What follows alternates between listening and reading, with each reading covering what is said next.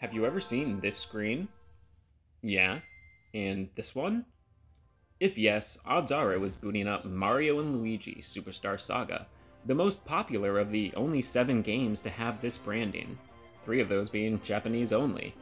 It marked games with extra Game Boy player compatibility, namely an extra rumble feature delivered via the GameCube's controllers. This rumble first rockin' in late 03 lives on in 2023, and the recent Switch port of Superstar Saga for Nintendo Online's Game Boy Advance emulator. Even rarer still is the not compatible with Game Boy Player screen, unique to the GBA video line of carts. But we're out of time, so more on that in another video.